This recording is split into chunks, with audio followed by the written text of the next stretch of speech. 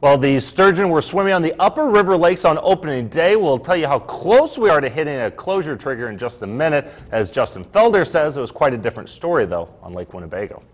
I'll be pet the fish again.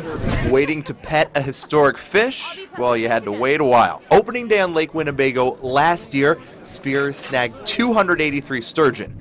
This time, 39. Clarity is only maybe seven feet deep. You know, we're fishing about 14 feet of water so that's not very good at all. This year, between the ice and the poor water clarity, is, is making for a slower start to the season. But that could improve. It's going to be a long season. I'm guessing we're going to have our full 16 days, probably for the first time ever in the history of the fishery. The second weekend might be bigger than the first weekend. It was slow all across Lake Winnebago. A normally busy registration station in Stockbridge only saw three fish the entire day.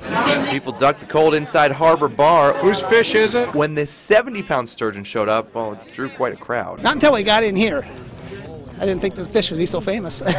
Less spearers contributed to the slow start on Lake Winnebago ice conditions, keeping many away.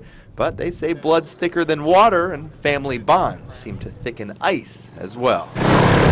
I trust Dad. He says it's safe, so if he says it's safe, I guess I trust him.